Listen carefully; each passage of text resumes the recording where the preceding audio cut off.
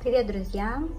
Я снова с вами. Значит, тема видео окрошка на скорую руку. Ни для кого не секрет, как делать окрошку. Рецептов миллион в интернете. Все ее делали, все пробовали. Я ничего нового не открываю. Я просто показываю сегодняшний день и хочу сказать, что у нас очень большая жара. Поэтому я снимаю себя вот так, потому что я просто в купальнике. А вот мы ходим здесь в купальниках. Вон, видите, человек от жары лежит пластом.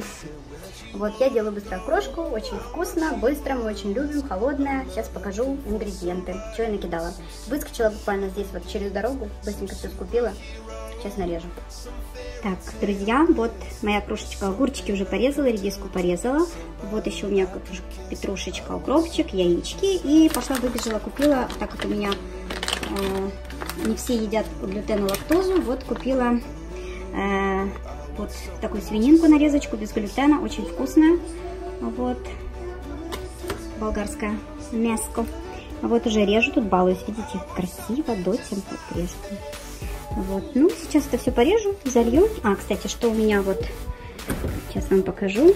Вот, и вот такая штука, вот таратор, то есть быстро, удобно. Конечно, я не знаю, какая она на вкус, первый раз с этим делаю. Это то, что быстро, чтобы как бы отдельно там сыворотку не делать самой.